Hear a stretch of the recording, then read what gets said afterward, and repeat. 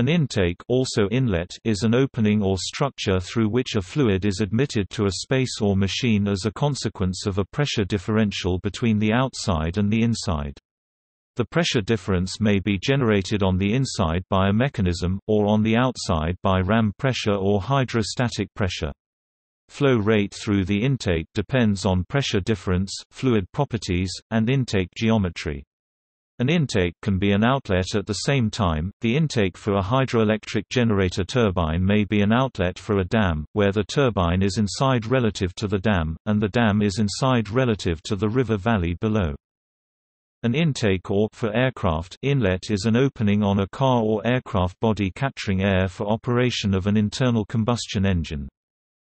The internal combustion engine functions as an air pump during the intake and exhaust strokes, and like the exhaust system on an engine, the intake system must be carefully engineered and tuned to provide the greatest efficiency and power.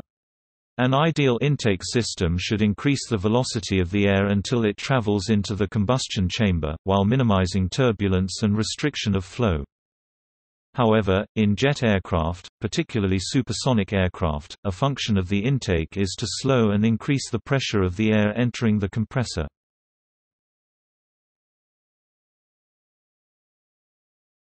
Topic: Automobile engine intakes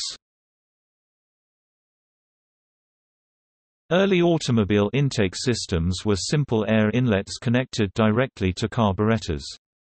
The first air filter was implemented on the 1915 Packard Twin 6. The modern automobile air intake system has three main parts an air filter, mass flow sensor, and throttle body.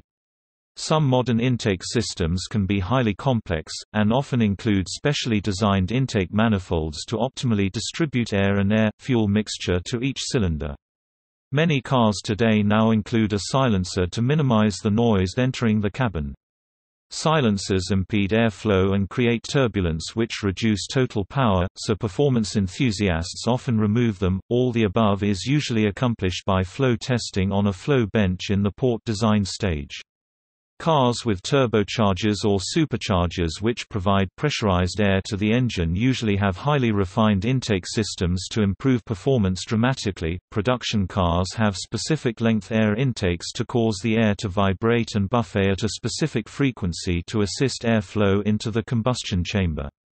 Aftermarket companies for cars have introduced larger throttle bodies and air filters to decrease restriction of flow at the cost of changing the harmonics of the air intake for a small net increase in power or torque.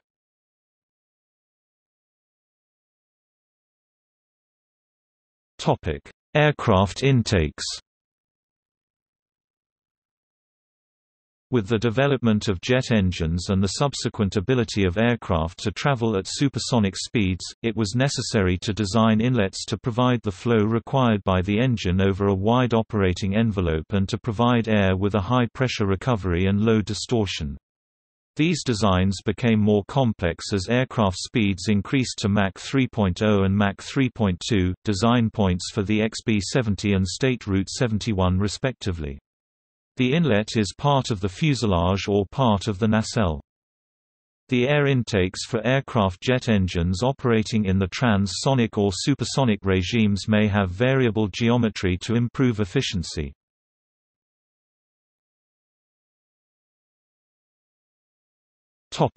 See also Cold air intake Warm air intake Short ram air intake. Ram air intake. Intake ramp. Inlet manifold